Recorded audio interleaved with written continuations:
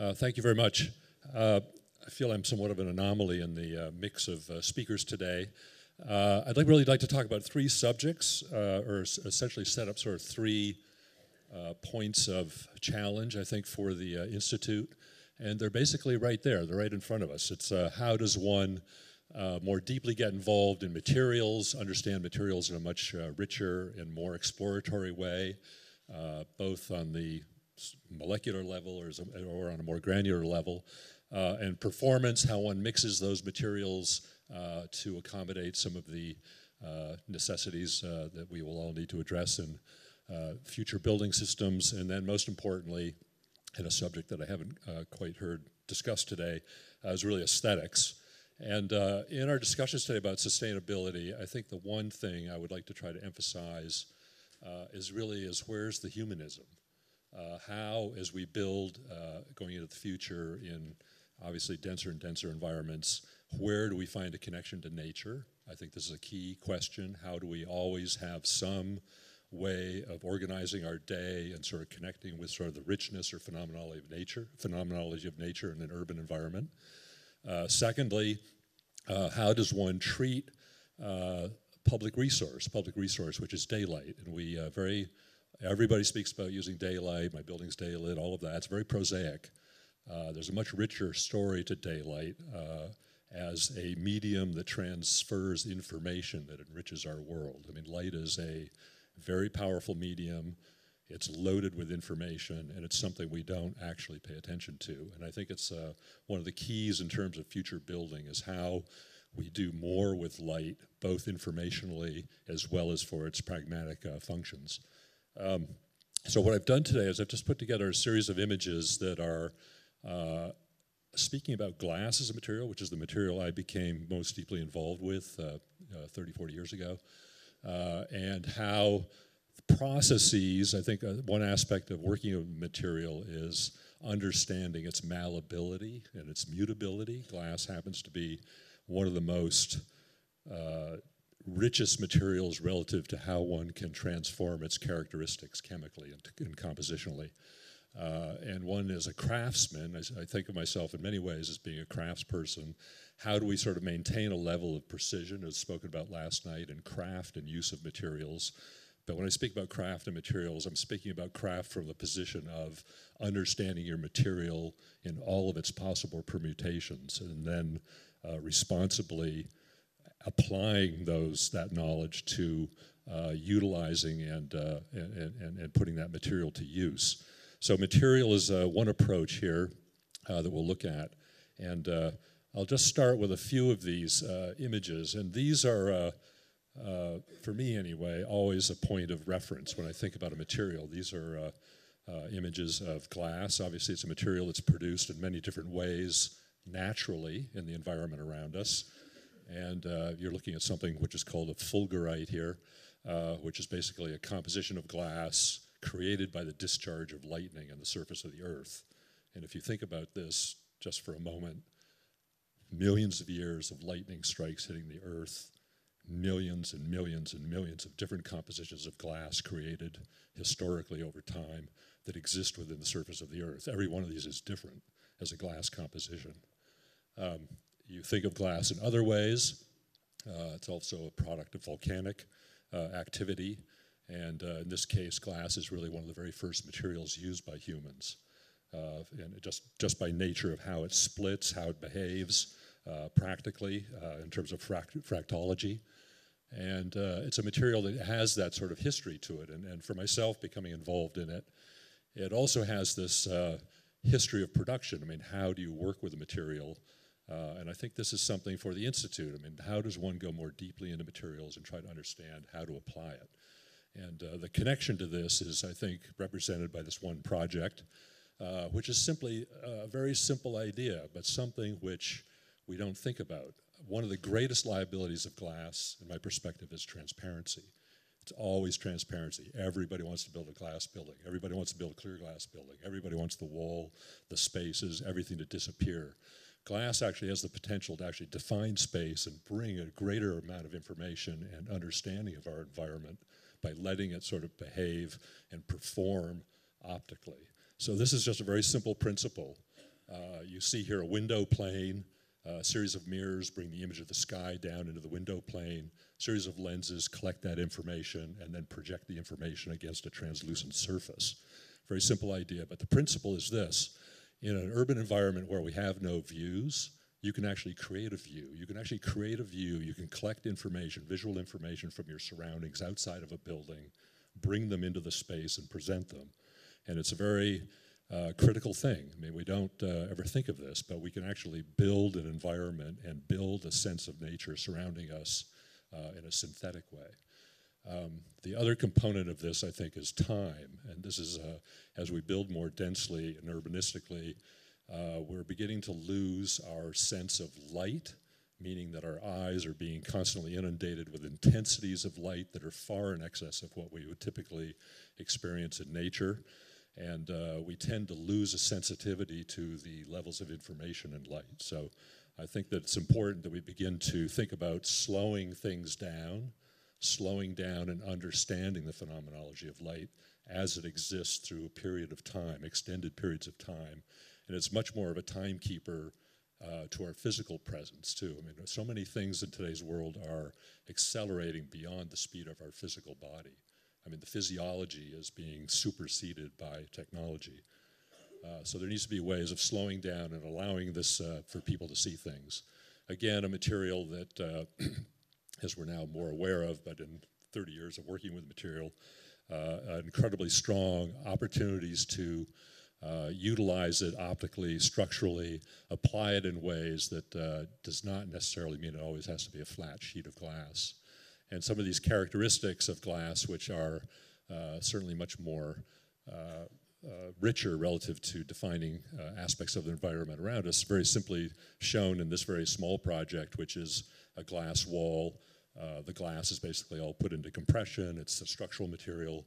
One surface is high, as, has a heightened level of reflectivity to it, and the opposite surface has a diffusion or light scattering characteristic to it. How do wall systems actually take on multiple functions relative to the visual environment around you? Collecting more information, diffusing more information, what goes on around you. Uh, we need to figure out a way to uh, enrich uh, this environment is just becoming so dense uh, that we lose that, that, that sense of timing around us. So uh, again, just a way of how do structures begin to uh, encompass and incorporate multiple levels of function in a building, but still remain uh, aesthetically just very simple, very beautiful components of the world around us that reconnect us to, to nature. In this case, uh, an element that actually distributes daylight. This is a particular type of glass, distributing daylight through a, a federal courthouse building. Sim simultaneously distributes artificial light. It also has all of the uh, sprinkler systems and things incorporated into it. But how do we get that multifunctionality brought into, uh, into projects? And uh, when we think about uh, light and our experience in space, I mean, this is a, a very, very old project. Uh, but it's really this idea in, in this instance of how, how can you use light as a way of enriching one's uh, sense of a particular ecology or environment. So this is obviously uh, a small bridge uh, that crosses, is a, this is the bridge in section, a glass platform bridge. Uh, it floats over a river in such a way that you need to get onto the glass platform, move across the glass platform, then move to the other shore. Uh, but the bridge is basically sort of capturing qualities of light from the surface of the river uh, and the environment around it. So the structure you walk on is basically embedded with this surrounding information, and it allows you to sort of read the environment uh, in a much richer way. Uh, I've just juxtaposed these. I think these are just, we we forget, you know, what, we forget these processes. There's so many processes that have been uh, done for production of steel or ceramics or glass uh, historically that have been dismissed simply because we think we're doing things better today, and that's absolutely not the truth. Uh, we rely today on float glass, uh, drawn material glasses, uh, but the quality of glass that was produced, you know, 50 or almost 100 years ago was a thousand, thousand times better than the glass we have today. So there's always this whole thing of reassessing the history of manufacturing of a material to uh, find out how these processes can, can be reinvented or reutilized. And uh, many of these processes uh, uh, similar to this one and the and one I showed just a moment ago, uh, find themselves being rediscovered, meaning that a process that I even worked on like 30 years ago at Corning Glass Works, where I, I continue to work, uh, is today the same, the same process that's used for this Gorilla Glass that's used in all the computers. Uh, these manufacturing processes always have a way of resurfacing. So going uh, forward in this, uh, other part of the discussion in terms of light and daylight in the public realm, uh, the big issue to my mind is, and we, we haven't discussed it, is as soon as you build something, you've consumed a public resource. I'm not talking about just energy uh, and sustainability issues, but as soon as you build a building, you've consumed the public resource, which is light. And uh, buildings oftentimes don't acknowledge the fact that you are privatizing that public resource uh, by building the building, uh, but you're not necessarily giving back to the public uh, the quality of light or the richness of that sort of environment that existed there previously. And I'm just using an example here of a building. This is uh, Seven World Trade Center in New York. Uh, but a building that actually is built into the systems of the building uh, optical devices that in fact sort of take daylight that hits the building, reprojects light, brings light into the building in many different ways. This is not uh, what one would call daylighting in a conventional sense. The building obviously functions on that level where you're bringing in daylight uh, for the be betterment of the uh, work environment. But this is really a way of how a building sort of takes on qualities of light that are happening in the sky plane around us, but we tend to not ignore, or we tend to ignore them. Uh, so here the building actually takes on a much more responsive characteristic. This is a daylighting system that's built into the building. It picks up light uh, many, many different ways throughout the day.